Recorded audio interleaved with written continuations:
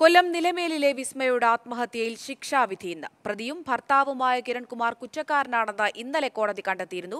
സ്ത്രീധന പീഡനം മൂലമുള്ള ആത്മഹത്യ അടക്കം അഞ്ച് വകുപ്പുകളാണ് പ്രതിക്കുമേൽ ചുമത്തിയിട്ടുള്ളത്. കിരൺകുമാറിന് പരമാവധി ശിക്ഷ നൽകണമെന്ന് പ്രോസിക്യൂഷൻ കോടതിയിൽ ആവശ്യപ്പെടും.